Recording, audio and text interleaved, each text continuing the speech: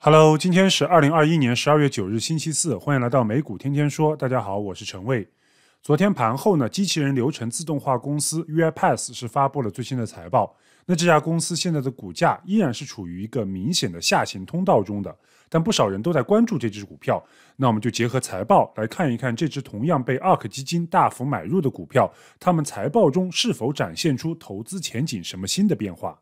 那先看财报，在截止十月三十一日的第三财季中，UiPath 的收入是达到了二点二一亿美元，同比增幅达到了百分之五十，这要比第二财季中的百分之四十的增长又有了进一步的加速。那其中更多的收入数据显示，年化经常性收入，也就是 ARR 是增长了八点一八亿美元，同比增长了百分之五十八，略低于上一季度的百分之六十，但依然实现了百分之十二点五的环比增长。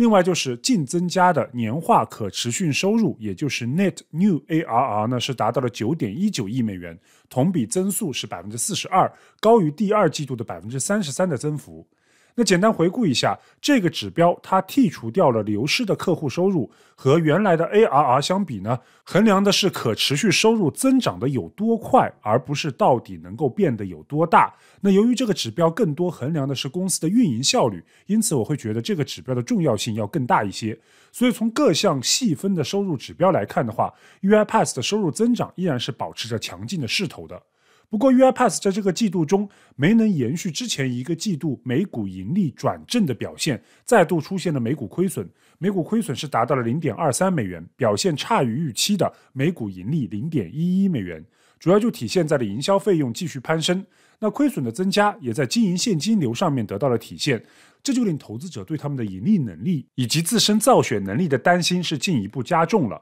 但好在截止十月底的时候，他们的现金及等价物依然是高达十九亿美元，几乎和七月底的时候是一样的。这就看得出他们的流动性依然是充足的。结合他们的流动比率高达五点七六，同时还几乎没有任何的债务负担，因此呢，尽管现金流依然是没有转正，但现在还不用担心他们未来发展和扩张的资本。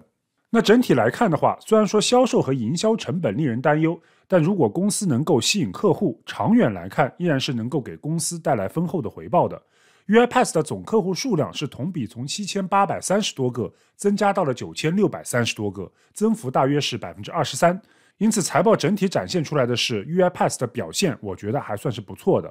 那另一方面，到二零二四年的时候，华尔街预计的是机器人流程自动化，也就是 RPA 这个市场的潜在规模是有望达到三百亿美元的。那这和 UiPath 现在的收入规模来看，依然是具备着极大的增长空间。那毫无疑问的是，人工智能将成为商业世界中越来越重要的一个组成部分，而 UiPath 呢，正好也是处于这种市场转变中的。因此，长期基本面对于 UiPath 而言，我觉得依然是不错的。但现在依然需要小心竞争的风险，这点也就解释了为什么 UiPath 尽管已经是这个领域的领头羊了，但他们的营销费用仍在不断的攀升。现在有两家公司对于 UiPath 的领先市场地位呢，是形成了直接的威胁，一个就是微软，另一个就是 ServiceNow。尤其是需要小心 ServiceNow，他们是更加纯粹的 SaaS 公司，也是更加直接的竞争对手。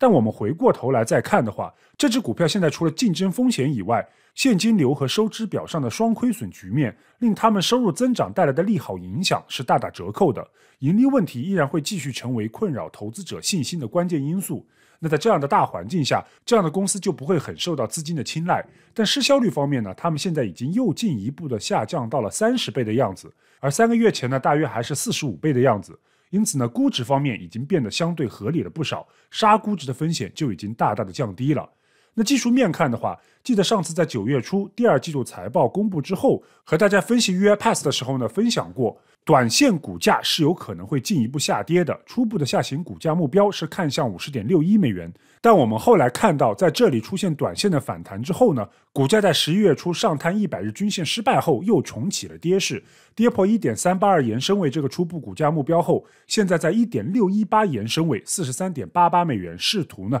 去构筑一个新的底部。那感兴趣的投资者可以关注这里的支撑效果，以及他们什么时候能够借此真正有效突破五月份开启的这个下行通道。最后总结一下，现在的情况下呢，我会觉得 UiPath 的估值和他们现在的市场地位是比较匹配的。虽然说盈利表现成为了他们面临的最大风险，但至少他们的产品服务已经在一定程度上是得到了市场的验证。因此呢，这只股票是有风险，但依然有着基本面的支撑。对于机器人流程自动化感兴趣的投资者是可以关注一下这只股票的。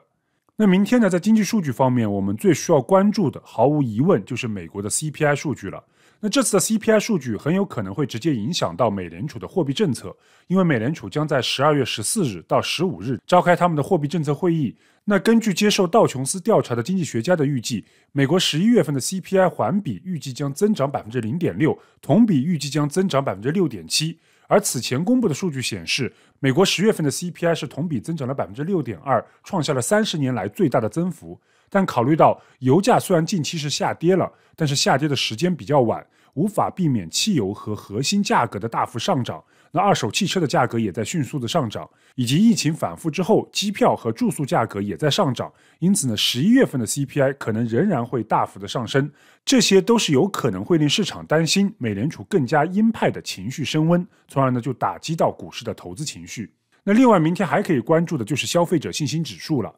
好了，这就是今天的全部内容了。这里要感谢一下老虎证券对本节目的支持。如果有美股开户需求的朋友，可以关注一下视频简介中的老虎证券开户链接，有专属福利带给大家。还给大家分享一个好消息，非常开心，由我参与开发的小白的美股投资宝典已经推出，欢迎感兴趣的朋友扫码了解课程内容。那如果喜欢我的视频，麻烦订阅、点赞和转发，同时还可以打开小铃铛，这样就可以及时了解市场动态，第一时间获取更新通知。谢谢大家，我们明天再见。